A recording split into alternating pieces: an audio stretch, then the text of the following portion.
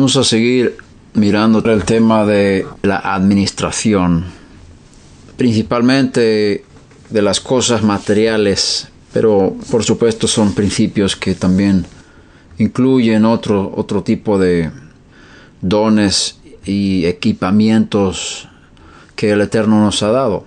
Eh, además, el Maestro dice que si no habéis sido fieles en las riquezas, ¿quién os dará los bienes verdaderos? O sea, la administración de la economía y todas las cosas materiales que Hashem nos haya entregado para administrar son, es una, una condición para poder administrar los dones espirituales. O sea, hay una relación entre nuestra fidelidad en lo material y la fidelidad en lo espiritual. Si no somos fieles en lo que vemos, ¿cómo vamos a ser fieles en lo que no vemos? Entonces, la parte de la administración es muy, muy importante. Si miramos las escrituras, vemos que habla muchísimo de este tema. El que es fiel en lo poco es fiel en lo mucho. Y como administramos las cosas materiales, así mostramos cómo administramos, cómo, qué tipo de administradores somos también en lo espiritual.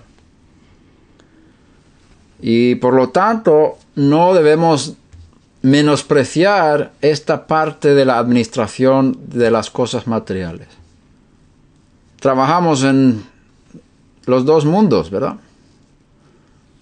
Miramos que el texto de Hebreos 13, 16 dice que compartir con lo que tenemos es un sacrificio. Es decir, hay un tipo de sacrificio, es un ministerio de sacrificio, utilizar los bienes materiales de forma correcta.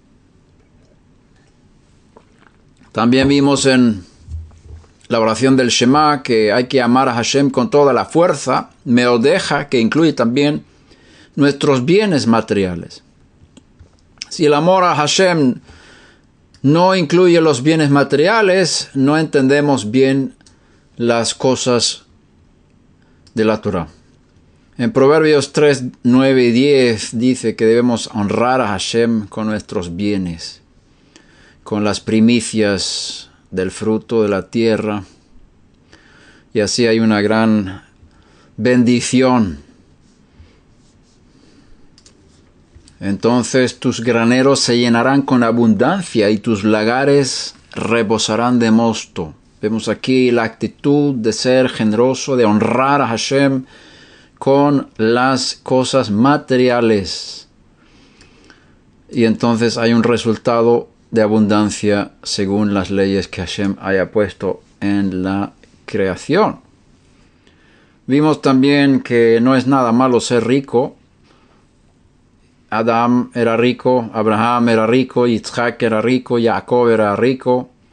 El pueblo de Israel fue rico al salir de Egipto. El rey David era rico, el rey Shlomo era rico.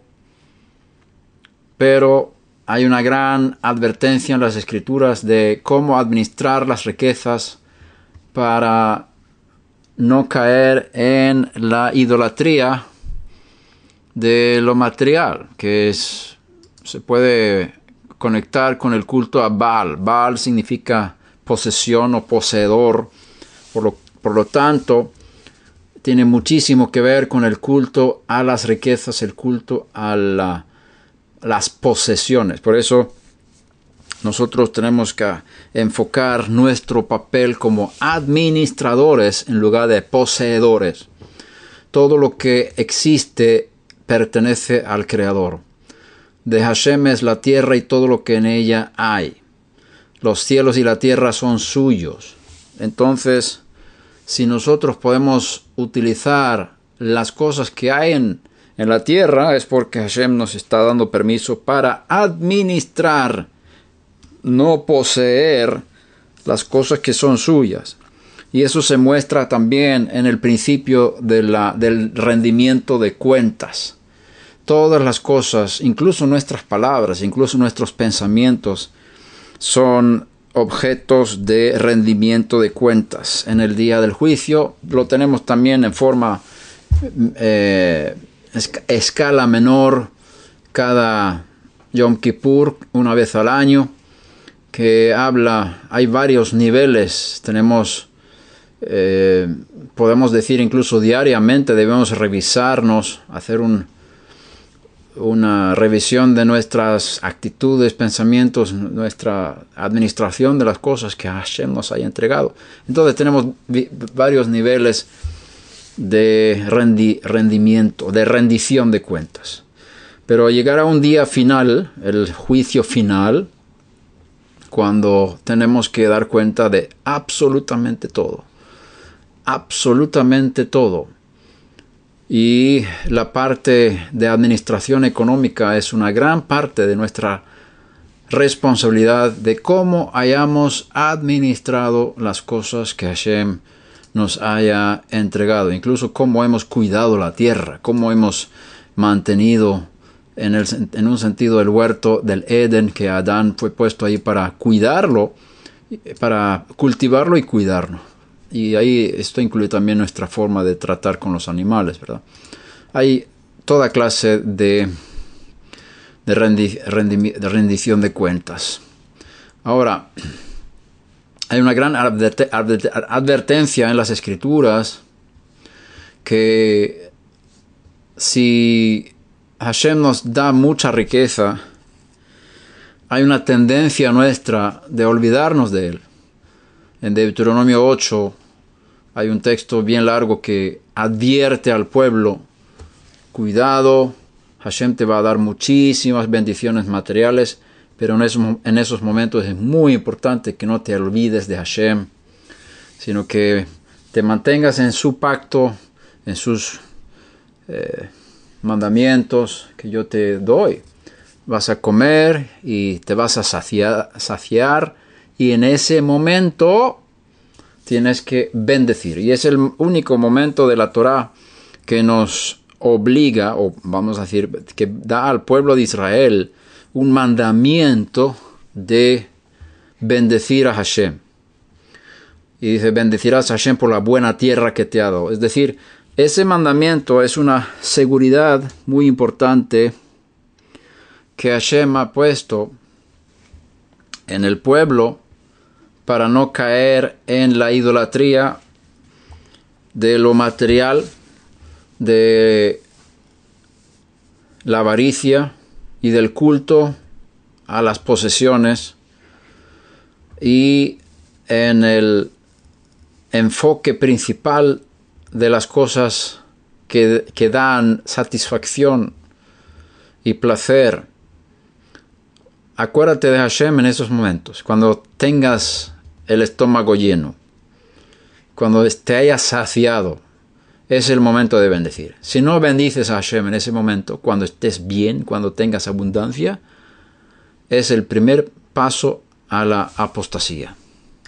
Si miramos en Romanos capítulo 1, vemos que el primer paso a la apostasía es la falta de gratitud él tiene ahí una escala de caída en, los primeros hombres que se apartaron del Eterno.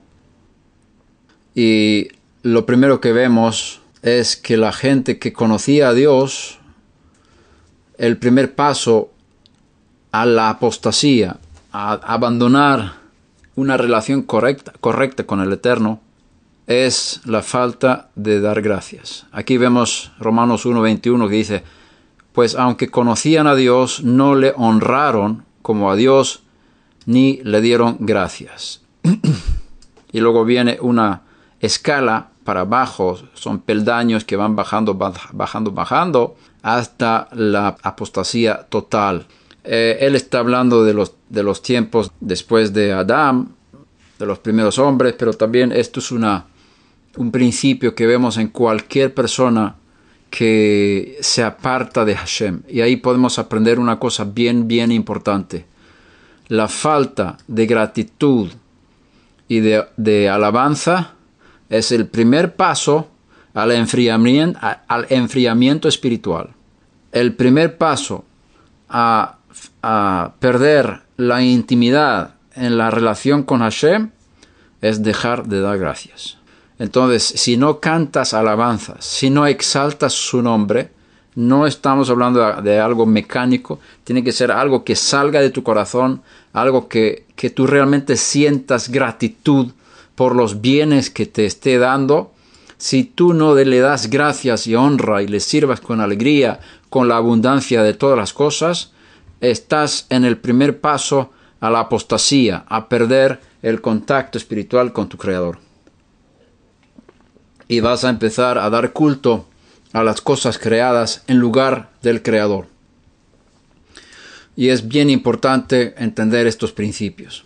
Por lo tanto, la Torá y los profetas advierten bien fuerte contra esta, esta situación. Podemos eh, eh, ver en eh, Deuteronomio 28, 28 47 estas palabras, por cuanto no serviste al Eterno tu Dios con alegría y con gozo de corazón cuando tenías la abundancia de todas las cosas. Por tanto servirás a tus enemigos, los cuales el Eterno enviará contra ti en hambre, en sed, en desnudez y en escasez de todas las cosas. Él pondrá yugo de hierro sobre tu cuello hasta que te haya destruido aquí vemos abundancia de todas las cosas. En ese momento es el momento más crítico del ser humano. Cuando Hashem te haya bendecido con abundancia de todas las cosas, tanto materiales como espirituales. En ese momento es, el momento más crítico, porque hay una tendencia en el ser humano de olvidarse de Dios en ese momento. Por eso está el mandamiento, comerás y te saciarás y bendecirás al Eterno tu Dios por la buena tierra que te ha dado. Entonces, aquí dice, si no sirves al Eterno tu Dios con alegría y con gozo de corazón, al estar en ese momento de esa abundancia, si no le sirves con gozo y alegría, entonces vas a ser entregado a los enemigos que Hashem enviará contra ti hambre, sed, desnudez, escasez de todas las cosas, y el yugo de hierro sobre tu cuello, hasta que te haya destruido. Mira aquí la gravedad de servir a Baal, porque es el espíritu de Baal que estamos sirviendo cuando no reconocemos que las cosas que tenemos son de Hashem. Si pensamos que somos dueños y no nos vemos como administradores, Hashem va a enviar todas estas cosas sobre nosotros hasta que seamos destruidos. O que hagamos teshuva, por supuesto. Pero hay que entender estos principios. Ahora, si, si volvemos atrás y decir, si tengo un yugo de hierro sobre mi cuello, si, si hay opresión demoníaca, si hay algo que me quiere destruir, si hay demonios que me están atacando, quitando también incluso rompiendo, causando que se rompan las cosas en mi casa, un montón de maldiciones que me tocan. La mejor manera y quizás la única es servir a Hashem con alegría y con gozo de corazón en los momentos más difíciles, en los momentos más oprimidos de nuestra, nuestra alma y nuestro cuerpo y nuestra economía. Es una clave para salir de la presión es alabar a Hashem con todo el corazón. También lo vemos en Hechos de los Apóstoles cuando los eh, Pablo y no sé si era Silas, estaban en el lugar más íntimo de la cárcel cantando alabanzas al Dios vivo y Hashem abre todas las puertas y hace grandes milagros. Es el momento más importante de alabar a Hashem cuando estés en abundancia de todas las cosas y cuando estés en cárcel, en opresión de cualquier tipo. Con otras palabras, es el momento de alabar a Hashem siempre. Ok, entonces vemos ahí que la riqueza no es mala, la riqueza viene de Hashem, la, la abundancia viene del Creador, pero con las condiciones de que reconozcamos quién es el dueño de todo. Y ahí vamos, vemos, volvemos al pecado inicial de Adán en el huerto del Edén, cuando Hashem le dice, todos los árboles podrás comer, excepto uno, para que sepas que yo soy el dueño de todo. Tú eres administrador. Te he puesto aquí para cuidar, para cultivar y cuidar. Tienes que cultivar los árboles, tienes que cuidarlos y así podrás comer. Estás trabajando para mí. Pero la serpiente vino y causó que el hombre se desconectara pensando que él podría ser Elohim, que él podía ser el dueño de sus decisiones, que él podía desconectarse de la responsabilidad de la administración y ser poseedor de las cosas. Y él empezó a comer de un árbol que no era suyo, es decir, el hurto, el robo fue el primer pecado. Entonces él robó de algo que era de Dios, que Hashem no le había permitido comer, y por eso toda la humanidad cayó en pecado por causa de Adam Harishon. Ahora, en Proverbios 3:16 vamos a leer algunos textos que hablan de la importancia de administrar correctamente. Larga vida hay en su mano derecha, aquí habla de la sabiduría. En su mano izquierda riquezas y honra. O sea, la sabiduría da riquezas. Es decir, necesitamos el espíritu de sabiduría para administrar las cosas correctamente. Si tú tienes, si tú, si tú tienes dinero para comprar comida, Hashem te ha dado dinero, estás trabajando, recibiendo dinero, un sueldo, y tú estás escogiendo entre un producto que en un lugar valga mucho y otro producto que en otro lugar valga menos. ¿Por qué estás comprando en el lugar donde vale más dinero? ¿Por qué gastas dinero en cosas que no son importantes y que valen mucho dinero? Necesitamos sabiduría para gastar correctamente para que las riquezas no se agoten rápidamente. El secreto para ser rico no es ganar mucho, sino gastar poco. Fueron palabras de mi padre de bendita memoria. El secreto de ser rico no es ganar mucho, sino gastar poco. Saber administrar, saber utilizar los recursos que Hashem me ha dado. Este, ese es el secreto a la, a la riqueza. Proverbios 10:4 dice, pobre es el que trabaja con mano negligente. Si trabajas con pereza, no haces un trabajo bien con tus manos, te vas a volver pobre. Si tú tienes un trabajo, sé bueno en tu trabajo, sé cuidadoso, trabaja con fuerza, esfuérzate, no seas perezoso. Si eres perezoso en tu trabajo, vas a volverte pobre. Dice, mas la mano de los diligentes enriquece. Si trabajas bien, vas a tener riquezas. El que recoge en el verano es hijo sabio. Es decir, en el tiempo de las producciones en el campo cuando el campo produce fruto. Así es en Israel. El que recoge en el verano es hijo sabio. El que duerme durante la siega es hijo que avergüenza.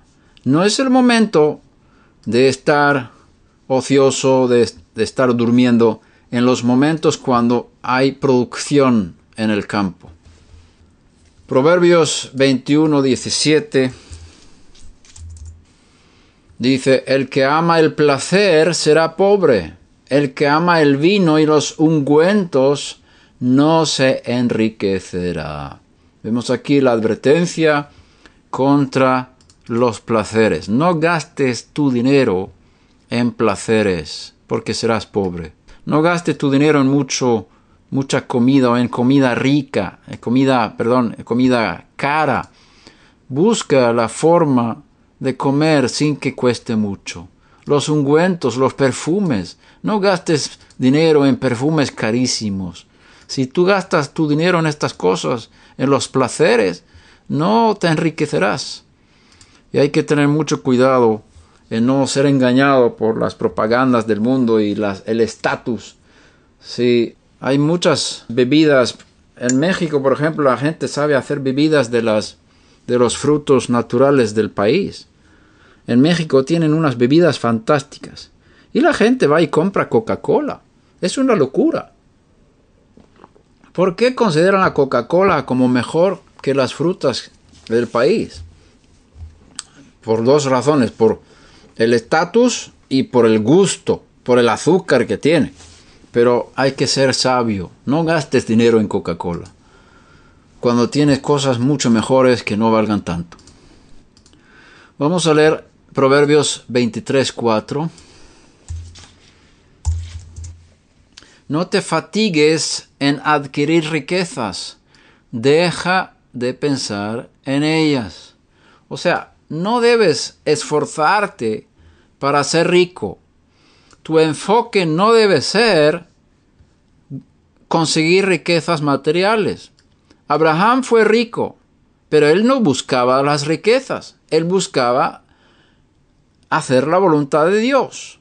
Como está escrito, busca primero el reino de Dios y su justicia y las demás cosas os serán dadas por añadidura.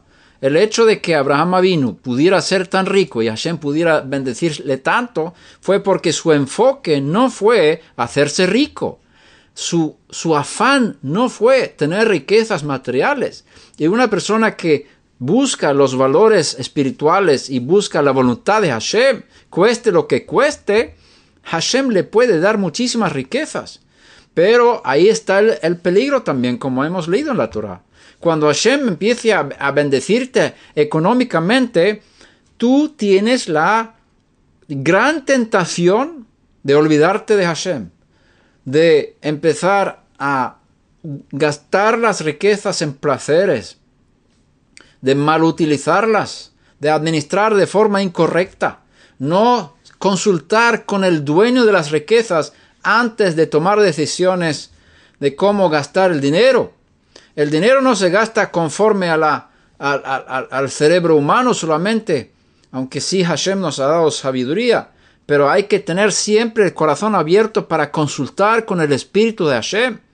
No es el dinero que manda lo que tenemos que hacer, es el espíritu de Hashem, porque todos los que son hijos de Dios son guiados por el espíritu de Dios y incluso también en la administración económica. No puedes desconectarte del Espíritu de Dios para gastar dinero como te dé la gana. Entonces no estás haciendo una, administración correcta delante de Hashem. Tú no eres dueño de tu dinero, tú eres administrador de los bienes de Hashem. Y, y mientras que nosotros tomemos decisiones desconectados, desconectadas de Hashem, estamos poniéndonos como Elohim, haciéndonos Dios, pensando que nosotros podemos eh, administrar y mandar sobre las cosas materiales en lugar de ser obedientes y buscar a Hashem y preguntarle siempre, ¿tú quieres que yo gaste en esto? ¿Cómo quieres que administre esto? Eh, entonces, la, esta es la actitud de un, de un ser humano correcto que siempre está en conexión con Hashem. Y ahí está realmente, se muestra quién es tu Dios. Hemos visto y lo hemos mencionado antes que las dos fuerzas más importantes en Israel fue el culto a Baal y el culto a Ashterot o Astarte. Cuando Eliahu, el profeta, enfrentó era la situación quizás más crítica de toda la historia de Israel. Solamente había siete mil hombres que no habían doblado las rodillas ante ese ídolo. Siete mil en todo Israel, que era el remanente fiel a Hashem, que nunca se habían inclinado ante Baal. En ese tiempo, Eliahu enfrenta al rey, la reina y los falsos profetas y todo el pueblo en el monte Carmel y él está atacando estos dos poderes, el poder de ser dueños y el poder del sexo libre, el poder de Baal y el poder de Ashterot. Y esas dos fuerzas son las que dominan el mundo hoy.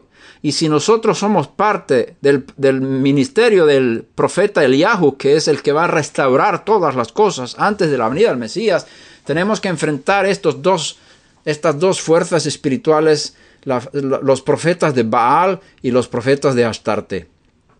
Y ahí nosotros tenemos que ser libres de todo tipo de administración en la, en la que nosotros pensemos que nosotros somos dueños. No soy dueño de nada. Soy administrador hasta de lo, de lo más pequeño, hasta del tiempo, hasta los minutos. El tiempo no me pertenece. El tiempo es de Hashem. Él ha creado todo y yo no puedo dominar. No puedo ser el dueño de mi tiempo. Tengo que consultar a Hashem. ¿Qué quieres? ¿Cómo quieres que yo administre tu tiempo que me estás dando? ¿Cómo quieres que yo administre las cosas que me estás dando? Las personas que me estás dando. Los, los talentos que me estás dando. ¿Cómo quieres que yo administre lo que tú has puesto en mis manos? Si tienes esta actitud y te sometes a él, vas a vencer sobre el espíritu de Baal. Pero el momento cuando pienses, voy a tomar una decisión sin, sin que Hashem esté en medio, voy a usar mi dinero como a mí me gusta. Ya estás inclinándote ante Baal, cuidado con ese espíritu.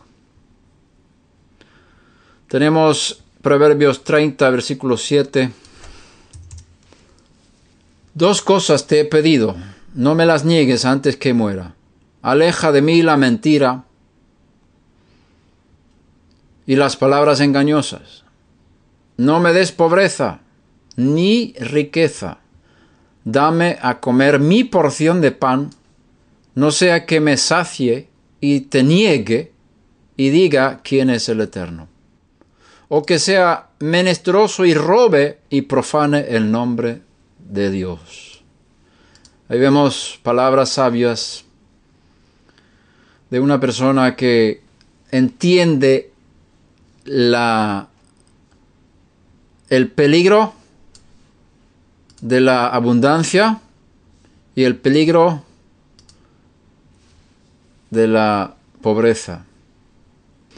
En eh, Eclesiastés 5, versículo 9 hasta 19 tenemos un texto bien largo sobre este tema, también del sabio Shlomo HaMelech. Dice, mas el beneficio del país para todos es que el rey mantenga cultivado el campo. El que ama el dinero no se saciará de dinero. Mira lo que dice aquí. El que ama el dinero no se saciará del dinero. Aquí tenemos el espíritu de la avaricia. Amor al dinero es raíz de todos los males, dice Shaliach Shaul. Si es raíz de todos los males, el amor al dinero, tenemos que realmente ser cuidadoso con ese, esa raíz para que no entre en nuestras almas. El que ama el dinero va, a tener problemas grandísimos. Además está escrito que ningún avaro heredará el reino de Dios y el Mesías. Si amas el dinero, no puedes ser salvo. Palabras no mías, sino de un emisario de Yeshua, el resucitado. Aquí dice el Salomón, el rey Salomón, el que ama el dinero no se saciará de dinero. Y el que ama la abundancia no se saciará de ganancias también esto es vanidad. Cuando em, aumentan los bienes, aumentan también los que los consumen. Así pues, ¿cuál es la ventaja para sus dueños sino verlos con sus ojos. Dulce es el sueño del trabajador, coma mucho y coma poco, pero la hartura del rico no le permite dormir. Hay un grave mal que he visto bajo el sol, las riquezas guardadas por su dueño para su mal, cuando esas riquezas se pierden por un mal negocio. Y él engendra un hijo, no queda nada para mantenerlo. Como salió del vientre de su madre, desnudo, así volverá, yéndose tal como vino. Nada saca del fruto de su trabajo que, queda, que pueda llevarse en la mano. Tú no puedes llevarte nada de las riquezas materiales cuando mueras. Y también esto es un grave mal, que tal como vino, así se irá. Por tanto, ¿qué provecho tiene el que trabaja para el viento? Además, todos los días de su vida come en tinieblas, con mucha molestia, enfermedad y enojo. Y aquí lo que he visto y que es bueno y conveniente, comer, beber y gozarse uno de todo el trabajo en que se afana bajo el sol en los contados días de la vida que Dios le ha dado, porque esta es su recompensa. Igualmente a todo hombre a quien Dios ha dado riquezas y bienes, lo ha capacitado también para comer de ellos, para recibir su recompensa y regocijarse en su trabajo. Esto es don de Dios. Aquí vemos una, aquí ven dos actitudes. Una actitud es el afán por las riquezas.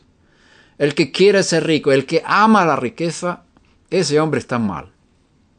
Pero tenemos el otro, el que trabaja, el que consigue bienes y puede disfrutar de los bienes y regocijarse de su trabajo y por supuesto, da gracias a, Dios, a Hashem. Y eso no es malo.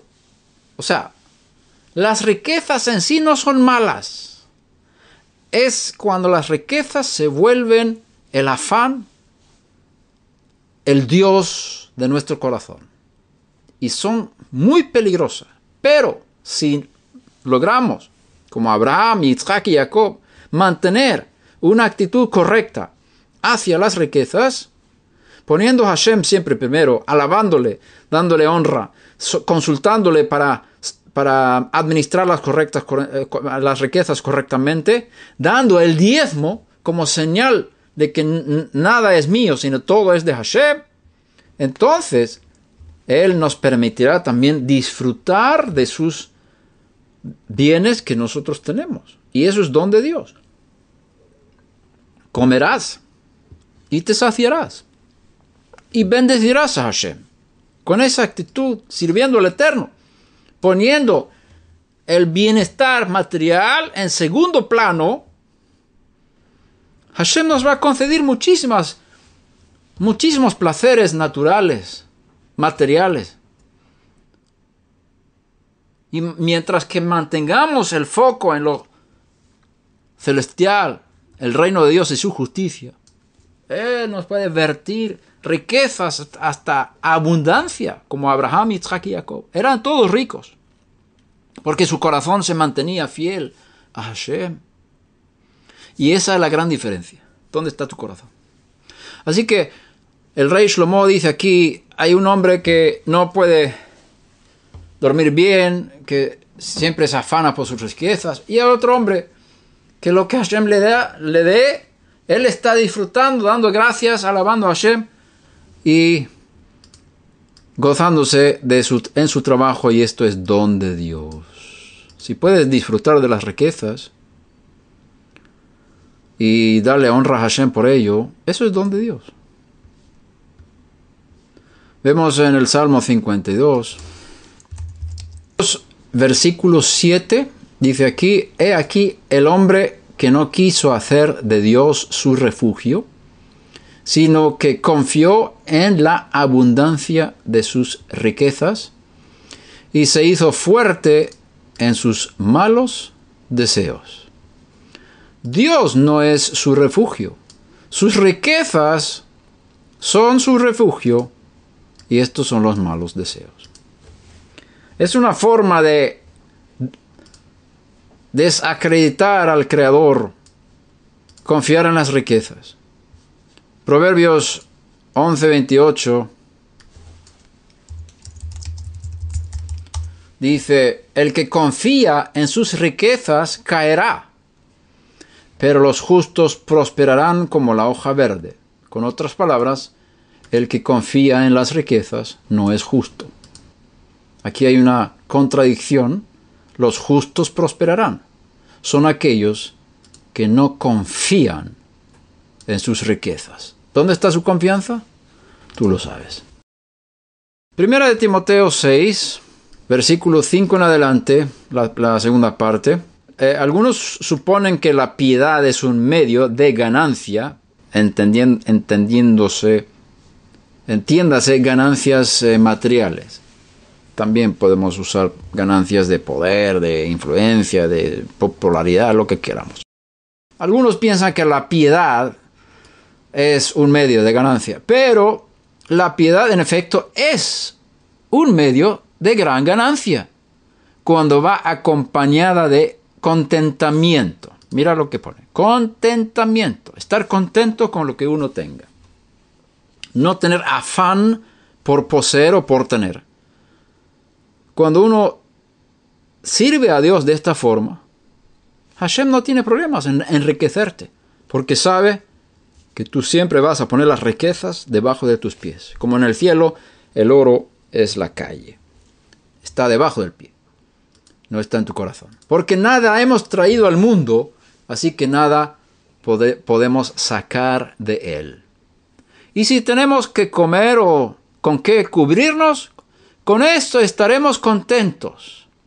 Aquí tenemos el nivel que las escrituras ponen para estar contentos. Si tienes para comer y cubrirte, eso incluye ropa y casa, porque la casa es una extensión de la ropa, para cubrirte. Si tienes comida, ropa, casa, ahí tienes que estar contento. Todo lo demás son bonos. Hashem te está dando más. Pero, por supuesto, vas a estar contento con lo otro también. Pero eso es porque te está dando más de lo que realmente necesitas. Si tienes lo básico, aquí está lo básico. Comida y refugio para tu cuerpo. Ahí, si Hashem te da eso, ya tienes lo que necesitas. Y no te afanes por más. Ahora si Hashem te da más, dale gracias, honra, gloria, porque te, te, está dando, te está dando en abundancia mucho más de lo que necesitas. Bendito sea su nombre. Pero los que quieren enriquecerse, los que quieren enriquecerse, ¿Tú quieres enriquecerte? Estás en peligro. Los que quieren enriquecerse caen en tentación y lazo y en muchos deseos necios y dañosos que hunden a los hombres en la ruina y en la perdición. Mira qué palabras. Los que quieren enriquecerse. ¿Quieres enriquecerte? Mejor que no estés en cum, porque aquí no es un lugar para los que quieren enriquecerse. Este es el lugar para los que buscan el reino de Dios y su justicia. Y si Hashem nos enriquece, Baruch Hashem. Y si no, también Baruch Hashem. Pero no buscamos las riquezas. Buscamos fidelidad en la administración económica. Porque la raíz de todos los males es el amor al dinero, por el cual, codiciando algunos, se extraviaron de la fe y se torturaron con muchos dolores. Satán entra donde él ve que hay una puerta de amor al dinero en tu vida. Es una de las puertas donde entran los malos espíritus en nuestras almas cuando empecemos a buscar riquezas, cuando empecemos a amar el dinero, tener afán por enriquecernos, ahí entra el espíritu maligno porque es el espíritu de Satanás. Así que tú, oh hombre de Dios, huye de estas cosas. ¿De qué cosas? Del amor al dinero, de querer enriquecerte. Huye de estas cosas. Tú, hombre de Dios, huye, huye de estas cosas. Huye. Es decir, aléjate de eso. Estamos hablando de actitudes, de querer enriquecerse y amar al dinero. Hay que tener mucho cuidado en el corazón de no caer en esto, el culto a Baal. Sigue la justicia, la piedad, la fe, el amor, la perseverancia y la amabilidad. Eso es lo que tenemos que buscar. Esto es lo que tenemos que perseguir. No hacernos ricos y servir las cosas materiales. Marcos 10, 17. Cuando salía para seguir su camino, vino uno corriendo y arrodillándose delante de él, le preguntó, Maestro bueno, ¿qué haré para heredar la vida eterna? Yeshua le dijo, ¿por qué me llamas bueno? Nadie es bueno sino solo uno, Dios. Tú sabes los mandamientos. No mates, no cometas adulterio, no hurtes, no des falso testimonio, no defraudes, honra a tu padre y a tu madre. Y él le dijo, Maestro, todo esto lo he guardado desde mi juventud. Yeshua mirándolo lo amó y le dijo, una cosa te falta, ve y vende cuanto tienes y da a los pobres y tendrás tesoro en el cielo. Y ven, sígueme. Pero él, afligido por estas palabras, se fue triste porque era dueño de muchos bienes. El texto no dice que era administrador de muchos bienes, era dueño de muchos bienes. Aquí este joven tenía la oportunidad de su vida para ser liberado del espíritu del culto a Baal, de ser dueño, de tener riquezas para mí mismo, de considerar que esto es mío, en lugar de entender que esto es de Hashem y yo soy solamente administrador, no dueño. Yeshua vio su corazón, le amó y además cuando él menciona los mandamientos, él cita de las diez palabras de los diez mandamientos y añade una cosa que tiene también que ver con las cosas materiales. No defraudes. Eso no está en los diez mandamientos. No hurtes, no defraudes. Entonces, él, busca otro mandamiento de la Torah y lo incluye en los más importantes. ¿Por qué? Porque quiere ayudar a este joven a ser libre en su corazón del amor al dinero. Quería liberarle del culto a Baal en su corazón. Tenía la oportunidad de su vida de ser liberado de este espíritu que le estaba atando para no ser libre para servir a Dios. Vende cuanto tienes y da a los pobres y tendrás tesoro en el cielo. ¿Qué es esto? ¿Esto es un mandamiento para todos? No. Este es el mandamiento para un hombre que tiene problemas de avaricia. Él tiene que ser liberado, igual que un drogadicto, tiene que dejar de beber o de drogarse totalmente hasta desintoxicarse. Luego puede probar algo de alcohol, pero si eso le es demasiado tentación, no puede. Aquí tenemos un hombre que está sirviendo a las riquezas, tiene amor a las riquezas, y Yeshua le da la oportunidad de ser libre. ¿Cómo ser libre? Vender todo y entender que la riqueza no se pierde. Aquí vemos que la promesa, y es un hecho, no es una promesa, es un hecho, tendrás tesoro en, el cielo. En el momento de dar a los pobres, se ingresa automáticamente en el banco celestial. Y ahí está la riqueza. Entonces se trata aquí de probar la fe del joven para ver si él cree en Dios, si él cree en los principios divinos, en los principios espirituales. Porque si tengo un tesoro en el cielo, si tengo una, una riqueza en el banco celestial, esa riqueza está a mi disposición en los momentos de necesidad. Ahora, en este mundo, no solamente en el mundo venidero, eso es un principio importante que tenemos que entender. Que si tengo un tesoro en el cielo, esa riqueza celestial que tengo ahí ahora mismo, no está guardada solamente para el mundo venidero cuando yo tenga la resurrección, sino Hashem puede transformar esa riqueza celestial en riqueza material en los momentos de necesidad material que yo tenga aquí. Y eso es un asunto de creer en Hashem. Como dice el proverbio, el que da al pobre le está prestando a su creador, al creador del pobre. Si tú das dinero al pobre, estás prestando al creador del pobre. Y si prestas a Dios, pues mira, te va a devolver. Y te va a dar en los momentos de necesidad. Si no tienes nada en el cielo, vas a tener problemas en los momentos de crisis. Pero si tienes un tesoro en el cielo, Hashem te transformará eso en bendiciones materiales en los momentos de necesidad. Y esto es un asunto de fe y confianza que Yeshua quería enseñar a este joven.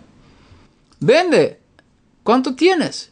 Y dalo a los pobres y tendrás, en ese momento tendrás tesoro en el cielo. Y Hashem te lo va a dar, te va a dar también, en otro lugar dice que el que abandona por causa mía las cosas materiales tendrá cien veces más en este mundo y en el mundo venidero vida eterna. Eso es importante entender que no es una pérdida obedecer a Yeshua en este momento, sino es una inversión a una riqueza muchísimo más poderosa, tanto para el mundo venidero como en este mundo en los momentos de necesidad. Y sigue el texto. Yeshua mirando en derredor dijo a sus discípulos, qué difícil será para los que tienen riquezas entrar en el reino de Dios. Mira esto. Qué difícil. ¿Por qué? Porque es otro Dios. Otra confianza. Otro afán. Otra búsqueda. ¿Qué buscas? ¿Para qué vives? ¿Para qué trabajas? ¿Para servir a Dios? O servir a las riquezas. No puedes servir a Dios y a las riquezas. Imposible. O sirves a Dios o sirves las riquezas. Pero no puedo trabajar para ganar dinero. Claro que sí, pero no lo haces para obtener dinero. Lo haces por, porque sirves a Dios. Y Dios quiere que tengas dinero y lo haces por Dios, no por el dinero. El dinero no es tu Dios. Además, cuando vas a tomar una decisión de hacer esto o lo otro, no consultas con el dinero a ver si el Señor dinero te permite hacer las cosas. Consultas a Hashem. Y si Hashem te pide hacer un trabajo, Él tiene que pagar. Aunque no tenga dinero. El dinero no es mi dueño. El dinero no es mi Dios. El dinero no es mi Señor. Y no consulto con el Señor dinero para tomar decisiones si voy a comprar algo o, o empezar un proyecto. Consulto con aquel que es la fuente de toda bendición. Y si yo sigo a Dios, hago la voluntad de mi Padre Celestial, Él va a proveer para cualquier necesidad en los momentos de necesidad. Lo he visto tantas veces en mi vida y sé que funciona. Lo importante es hacer la voluntad de Dios. Y los discípulos se asombraron de sus palabras. Qué difícil será para los que tienen riquezas entrar en el reino de Dios. Los discípulos se asombraron de sus palabras. Pero Yeshua respondió de nuevo, les dijo, Hijos, qué difícil es entrar en el reino de Dios. Es más fácil que un camello pase por el ojo de una aguja que el que es rico entre en el reino de Dios. Ellos se asombraron aún más diciendo entre sí, ¿y quién podrá salvarse? Mirándolos, Yeshua dijo, para los hombres es imposible, pero para Dios no. Porque todas las cosas son posibles para Dios, incluso cambiar el corazón de un avaro en un generoso. E incluso cambiar un corazón de alguien que sirve a Baal para que diga Hashem, Hu Elohim, Adonai Hu Elohim, como hicieron en el monte Carmelo cuando el profeta Eliyahu mostró quién es Dios.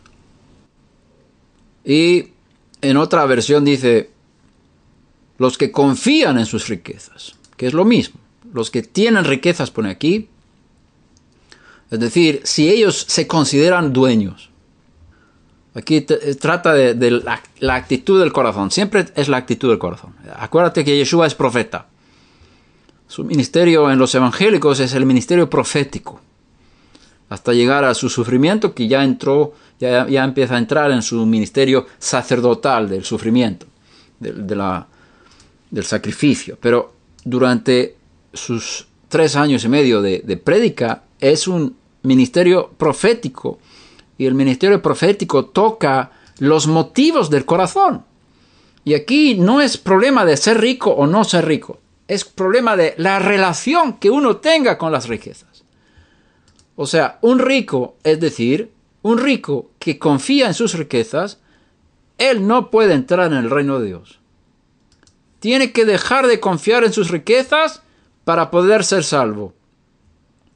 Y este joven rico que confiaba en sus riquezas, yo le di la oportunidad de ser libre de ese espíritu, vendiendo todo y dando a los pobres. Él se hubiera salvado de ese espíritu de culto a Baal, de confiar en sus riquezas, de buscar riquezas, de vivir para obtener bienes materiales. Se hubiera salvado de eso. Pero no quiso porque tenía mucho. Amaba más sus riquezas que los principios de Dios. Y no puedes juntar una cosa con otra. No puedes juntar aceite con agua. Mirándolos, Yeshua dijo, para los hombres es imposible. Pero esto es posible para Dios. Bendito sea su nombre. Y dice Pedro, comenzó a decirle, he aquí nosotros lo hemos dejado todo y te hemos seguido.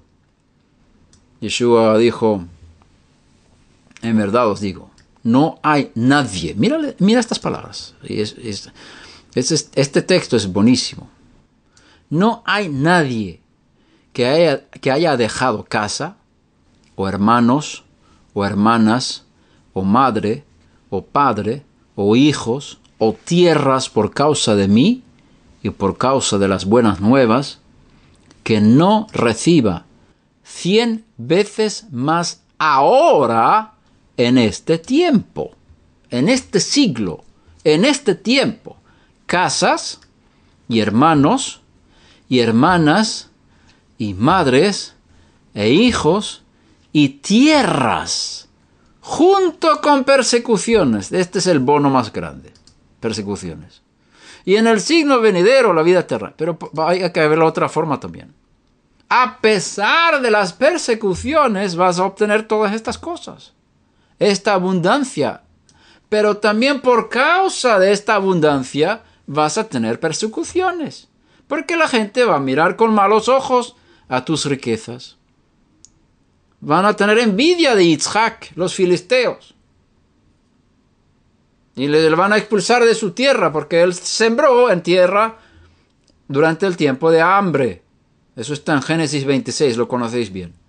En ese tiempo de sequía, cuando Hashem le prohibió bajar a Egipto porque quería ir a Egipto para salvarse de la, del hambre, de la sequía, Hashem le dice, no vayas a Egipto, quédate aquí. Y él sembró aquel año y cosechó ciento por uno. Los rabíes nos enseñan que él calculó cuánto iba a dar el diezmo y él recibió cien veces más para dar el diezmo. Tanto Abraham dio el diezmo como Isaac, en este caso, por eh, la enseñanza del, del Midrash, y Jacob dio el diezmo. Entonces el diezmo es antes de la entrega de la Torah, es para todos los hijos de Noah. Es un principio divino. Si quieres servir a Dios, tienes que dar el diezmo. El diezmo es la forma de mostrar que eres administrador y no dueño. El que no da el diezmo se considera dueño de las riquezas. El que da el diezmo reconoce a Hashem que es el dueño de todo. Entonces, con el dar el, diezmo, estás mostrando de forma práctica que no eres dueño de las riquezas. Y Hashem te puede bendecir mientras que tengas esa actitud. Y si tú entregas y dejas cosas por causa de Hashem o por causa del Evangelio, no vas a ser pobre. Hashem te va a dar cien veces más. No hay nadie, mira, no hay nadie que haya dejado estas cosas. Incluso personas, tierras. No hay nadie que no reciba cien veces más ahora en este tiempo. No hay nadie que no reciba cien veces más ahora en este tiempo. ¿Tú crees que Yeshua está mintiendo? ¿Por qué no le confías? ¿Por qué tienes tanto problema con tu economía? Cuando la gente está pidiendo dar una ofrenda, ¿por qué te duele? Porque no entiendes los principios del reino. ¿Y por qué estás atado al espíritu de Baal? No te inclines más, no te arrodilles más ante Baal. Confronta a estos espíritus, confronta a estos profetas de Baal. Tú eres parte del, movimiento de restauración del Yahweh en los últimos tiempos que tienen que destruir estas actitudes del corazón de las personas. Tú vas a tener casas, hermanos, en medio de persecuciones. Y en el siglo venidero, la vida eterna. Pero muchos primeros serán últimos. Los que son los primeros ahora, en este tiempo, ellos serán los últimos. Y los últimos, los que dejan, los que están dispuestos a entregar lo que tienen, ellos son los primeros. Ahora, si miramos el, cuento de Zaqueo en Lucas 18, es muy importante ver que esto del joven rico no es un principio general, porque el relato de Lucas 19 se habla de Zaqueo. Y Zaqueo, puesto en pie, dijo al Señor, He aquí, Señor, la mitad de mis bienes daré a los pobres y si en algo he defraudado a algunos, se lo restituiré cuadruplicado. Y Yeshua le dijo, hoy ha venido la salvación a esta casa, ya que él también es hijo de Abraham. Zaqueo no tenía que vender todo y dar a los pobres, porque no tenía esa raíz tan profunda de amor al dinero como tenía el joven rico. Cada uno recibirá el trato que necesite para ser liberado de este espíritu. Zaqueo dice la mitad de mis bienes, no todo. Y si a alguien en algo he defraudado a alguno, que no es algo grande, o sea, cuadruplicado, eh, calcula bien y verás que si él va a dar cuatro veces lo que ha defraudado a alguien, pues no puede ser mucho de sus riquezas que están conseguidas por medio del, del fraude porque no hubiera tenido para restituir cuatro veces. O sea, Zaqueo no necesitaba vender todo y dar a los pobres para ser liberado de estas actitudes de amor al dinero. Y Yeshua confirma que, aunque no dio todo, él había recibido la salvación. Mateo 13, 22 y aquel en quien se sembró la semilla entre espinos, este es el que oye la palabra, mas las preocupaciones del mundo y el engaño de las riquezas ahogan la palabra y se queda sin fruto. Vemos aquí una advertencia muy grande en la parábola del sembrador que el engaño de las riquezas pueden ahogar la palabra. Ten cuidado. Ten cuidado en esta área. Por eso Hashem nos está probando, tanto. Por eso, si tienes problemas económicos, te digo una cosa, es por falta de fidelidad que Hashem te permite pasar por problemas económicos. Si tienes problemas económicos, es por falta de fidelidad. Voy a repetir. Si tienes problemas económicos, es por tu falta de fidelidad en tu administración. Joven fui, ya he envejecido, y no he visto justo desamparado ni a sus hijos mendigando pan. Hashem está probándote a ver si vas a ser fiel cuando tienes poco ingreso, si vas a dar el diezmo o no. Si no eres fiel con el diezmo, cuando tienes poco, cuando te falta, no te va a dar mucho. No puede confiar en ti. Has mostrado con la pequeña administración que no eres fiel. No has dado el diezmo. ¿Cómo Hashem va a confiar en darte millones? Si no eres fiel con lo poco, el que es fiel en lo poco es fiel en lo mucho. ¿Cómo va a confiar en ti? Te está probando, te está mostrando, te está dando la, la posibilidad de rectificar. Tienes necesidad porque Hashem te está probando. Si eres fiel en las necesidades, vas a ser fiel con la abundancia. Si no eres fiel con la necesidad, olvídate de la abundancia. Hashem no te la va a dar. Si tienes problemas económicos, es por falta de fidelidad. El que es fiel tendrá. El que es fiel, Hashem le honrará. Al que le falta es porque Hashem le está probando. Hashem está intentando sacar una raíz en nuestros corazones para rectificar cosas en nuestras vidas. Sé fiel en lo poco y Hashem te dará mucho. Lucas 12 y 15. ¿Os acordáis de la mujer que quería dividir una herencia y le pedía a Yeshua que le ayudara? Y dice, no, fue un hombre. Un hombre de la multitud le dijo, maestro, dile a mi hermano que divida la herencia conmigo. Pero él dice, hombre, ¿quién me ha puesto por juez? o árbitro sobre vosotros. Es decir, Yeshua no era juez, era profeta. Y les dijo, ahora viene el mensaje profético, estad atentos y guardaos de toda forma de avaricia, toda forma de avaricia. ¿Qué es la avaricia? Es el afán por las posesiones en muchas áreas. Porque aun cuando alguien tenga abundancia, su vida no consiste en sus bienes. Su vida no consiste en sus bienes. Esto es todo lo contrario de lo que se enseña en el mundo.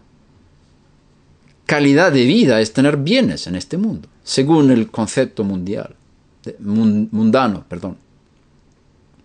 También les refirió, refirió una parábola diciendo, la tierra de cierto hombre rico había producido mucho. Y pensaba dentro de sí diciendo, ¿qué haré ya que no tengo dónde almacenar mis cosechas? Entonces dijo, esto haré, derribaré mis graneros y edificaré otras, otros más grandes y allí almacenaré, almacenaré todo mi grano y mis bienes y diré a mi alma, alma, tienes muchos bienes depositados para muchos años. Descansa, come, bebe, diviértete. Pero Dios le dijo, necio, esta misma noche te reclaman el alma. ¿Y ahora para quién será lo que has provisto? Así es el que acumula tesoros para sí y no es rico para con Dios. Aquí tienes la clave. Tesoro para sí. Rico para con Dios. Incluso en las riquezas materiales. Tú puedes ser rico para con Dios. Puedes hacer lo mismo que Él hizo con una actitud esto es tuyo, Dios. Si tú quieres que yo pueda disfrutar de eso, Baruch Hashem. Si no, dime cómo debo usarlo. Puedo dárselo a los necesitados, lo que tú quieras. Esto no es mío, es tuyo. Si soy rico para con Dios, no hay problema. Pero el que es rico y acumula tesoros para sí es un necio. Es un idiota. Jacob, Santiago 5, del 1 al 6, dice, oh, ahora, oíd ahora ricos. Y aquí hay que entender, estos no son todos los ricos y hay que tener cuidado. Algunos piensan, especialmente en el mundo influenciados por el comunismo, que ser rico es igual a ser malo. No es lo mismo. Entonces, Adán era malo, Abraham era malo, Isaac era malo, Jacob era malo, el rey David era malo, Salomón era malo, todos eran ricos. Eran malos entonces. No puede ser. Dios es malo porque es rico. No, no, no. Ser rico no es lo mismo que ser malo. Ser rico a costa de otros, explorando y sacando y hurtando y engañando a otros para enriquecerse, eso sí que es malo. Y ese tipo de ricos es el blanco de Jacob en esta carta. No son todos los ricos. Por supuesto que no. Ahora, este tipo de ricos hay que cuidarlo, cuidar, cuidarse de ellos y no ser iguales. Oíd ahora ricos, llorad y aullad por las miserias que vienen sobre vosotros. Vuestras riquezas se han podrido y vuestras ropas están comidas de polilla. Vuestro oro y vuestra plata se han enmohecido su moho será un testigo contra vosotros y consumirá vuestra carne como fuego. Cuando hablo de moho es porque hay una acumulación, en el sentido de que están ahí las riquezas acumuladas y ahí crece el moho. Porque estoy atesorando para mí mismo. Y dice, este moho será un testigo contra vosotros y consumirá vuestra carne como fuego. Es en los últimos días que habéis acumulado tesoros. Mirad el jornal de los obreros que han cegado vuestros campos y que, han sido que ha sido retenido por vosotros, clama contra vosotros. Ahí vemos este tipo de ricos que sacan riquezas por la injusticia. Este tipo de ricos son el blanco y el clamor de los segadores ha llegado a los oídos del Señor de los ejércitos. Habéis vivido lujosamente sobre la tierra y habéis llevado una vida de placer desenfrenado. Habéis engordado vuestros corazones en el día de la matanza.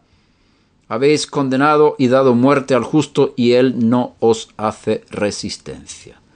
Ahora vamos a ver otro tipo de ricos en la primera, de, en la primera carta a Timoteo capítulo 6, versículo 17. Mira aquí.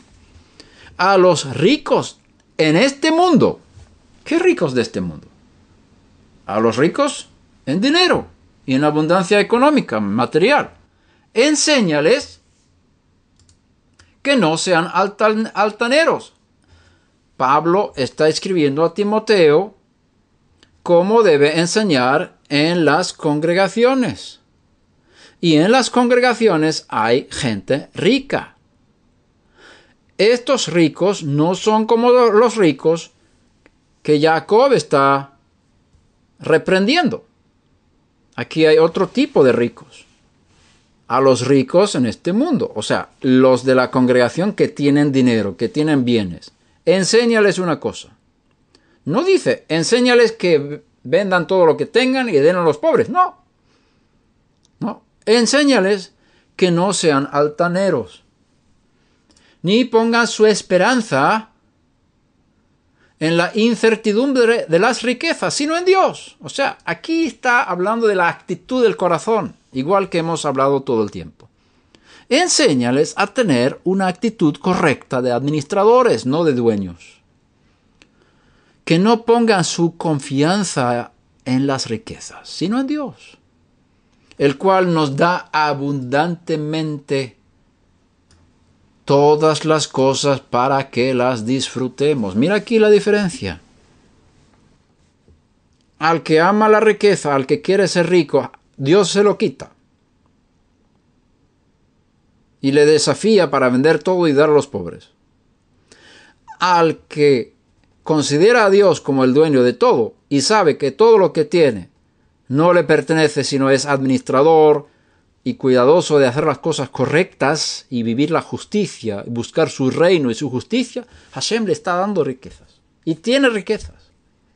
Y tiene riquezas no solamente para tener lo suficiente para sus necesidades básicas, sino también en abundancia para que las disfrutemos. Mira, Dios el cual nos da abundantemente todas las cosas para que las disfrutemos. ¿Cuándo?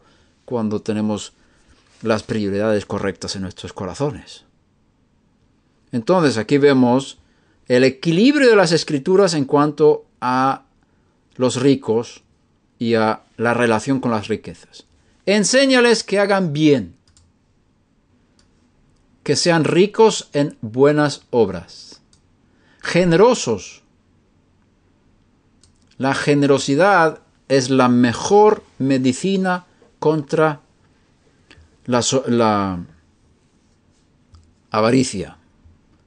El diezmo y las, la generosidad de los administradores y los que tienen mucho que administrar es la mejor medicina contra la avaricia, contra el espíritu del culto a Baal. Rabbi Akiva dice en Pirkei Avot que el diezmo es una cerca de protección alrededor de las riquezas. El que da el diezmo tiene protección. Si uno es generoso, protege su corazón de la avaricia. El que da el diezmo está protegido. El diezmo no es ser generoso, ojo, el diezmo es una muestra de quién es el dueño de mis riquezas. Aparte del diezmo puedo ser generoso. El diezmo no es una ofrenda. El profeta Malaquías habla de diezmos y ofrendas.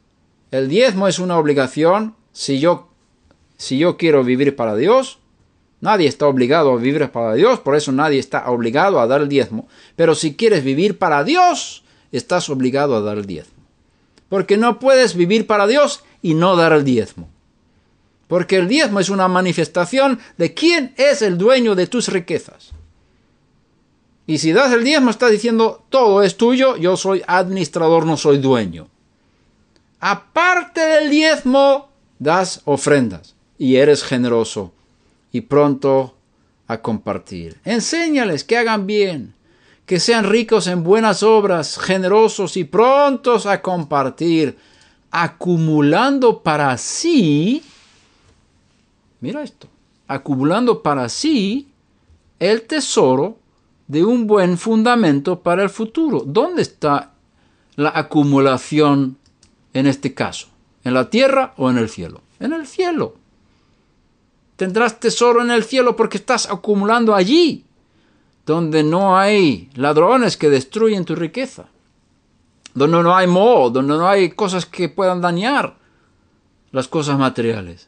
Entonces, si tú eres generoso, estás acumulando para ti el tesoro verdadero, el que no se destruye, el que es eterno, el que también está a mi disposición en los momentos de necesidad aquí en la tierra, de un buen fundamento para el futuro, para que puedan echar mano de lo que en verdad es vida. Mira aquí, qué palabras tan maravillosos maravillosas para los ricos en las congregaciones que han entregado sus corazones al Mesías, a Hashem. Y en los momentos de bajar a las aguas, hay que también entender que todo lo que yo tengo ya no es mío. Cuando yo me sumerjo, entro en la Tevilá, entrego mi vida a Hashem, a su Mashiach, yo también entrego mis bienes. Si no incluimos los bienes en la Tevilá, no es una entrega. No es una entrega total. No podemos servir a Dios y las riquezas. También hay que entregar las riquezas. Por eso hay que añadir a las preguntas que hacemos a los que van a pasar a las aguas, si están dispuestos a entregar todos sus bienes al servicio del Eterno. Y no considerarse ya como dueños, sino administradores de los bienes materiales. Si uno no tiene esa actitud a la bajada de las aguas, está, no entrega su corazón a Hashem. Amarás a Hashem con todo tu corazón, con, con toda tu fuerza. Me odeja. En 1 Corintios 5, versículo 10 y 11, tenemos una advertencia tremenda. Dice, 9 eh, podemos leer, en mi carta os escribí que no anduvierais en compañía de personas inmorales o fornicarias, es decir, los que practican el sexo sin estar casados. No me refería a la gente inmoral de este mundo o los avaros y estafadores o a los idólatras, porque entonces tendríais que salir del mundo, sino que en efecto os escribí que no anduvierais en compañía de ninguno que llamándose hermano es una persona inmoral, o avaro, o idólatra, o difamador, o borracho, o estafador, con ese ni siquiera comáis. Un avaro, uno que ama el dinero, llamándose hermano, no tenemos permiso para comer con esa persona en la congregación, en la relación espiritual, como hermanos. No podemos, no podemos contar como hermano al que ama el dinero. Ahí vemos una gran advertencia. Mira, que pone el avaro juntamente con un fornicario y un, idólatra. En otro lugar también dice que la, que la avaricia es idolatría. En 1 Corintios 6:10 dice, ni los ladrones, ni los avaros, ni los borrachos, ni los difamadores, ni los estafadores, heredarán el reino de Dios. Tenemos que cuidar nuestros corazones sumamente, tremendamente, de no caer en este espíritu de Baal que es el amor a las riquezas materiales y considerarnos dueños en lugar de administradores. Efesios 5.3, pero la inmoralidad, o sea, la fornicación y toda impureza, incluyendo la masturbación, o avaricia ni siquiera se menciona entre vosotros, como corresponde a los santos. Versículo 5. Porque con certeza sabéis esto, que ningún inmoral, fornicario, impuro o avaro, que es idólatra, aquí lo tenemos, tiene herencia en el reino del Mesías y de Dios. Ningún avaro que es idólatra tiene herencia en el reino. El que quiere servir al dinero para sí mismo no puede ser salvo. Colosenses 3:5 dice, por tanto, considerad los miembros de vuestro cuerpo terrenal como muertos a la fornicación, la impureza, las pasiones, los malos deseos y la avaricia, que es idolatría, pues la ira de Dios vendrá sobre los hijos de desobediencia por causa de estas cosas, en las cuales vosotros también anduvisteis en otro tiempo cuando vivíais en ellas. Pero ahora tenéis que desechar estas y otras también, otras cosas también. Entonces vemos aquí la importancia de discernir entre ser dueño o administrador que Hashem nos ayude, que nos libere, que nos revele los motivos de nuestro corazón y que nos muestre si hay algún tipo de fragmento, alguna pequeña raíz. Las raíces son microscópicas al principio. Y una raíz microscópica, puede entrar. Incluso aquí en, la, en las tuberías el vecino enfrente vino una vez aquí y me pidió ayuda. Dice, ¿me puedes ayudar porque no me está saliendo la, del baño cuando estamos tirando la cadena? Se, se, queda bloqueado. Y miramos la tubería de, del desagüe y estaba pasando por el jardín. Y la tubería estaba llena de raíces era imposible sacar esas raíces a través de líquidos o otro. Había que bajar y con las manos tirar, o sea, eh, agarrar las raíces que estaban dentro de la tubería y sacarlas. Y era un, un, un montón de raíces que venían, venían de los árboles. ¿Cómo habían entrado ahí? Porque la junta de los tubos es bien, bien fina. Tiene una goma incluso para que no haya escape.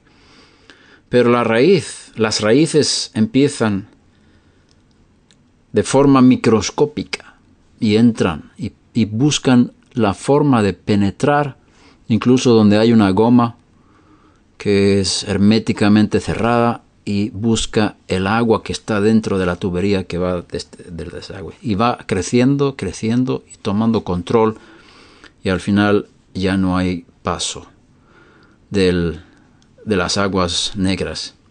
Y eso es una buena lección para nosotros, que Hashem nos muestre en todo momento, que nos ilumine el corazón para ver si en algún momento haya penetración de esas raíces, aunque sean microscópicas. Y te digo, te subrayo otra vez. Primero hay que dar el diezmo de todo lo que ganas. Segundo, eres generoso con los que tienen necesidad. Y eso te va a guardar el corazón de toda forma de avaricia. Que Hashem te prospere y te bendiga para que seas como Abraham vino. Amén.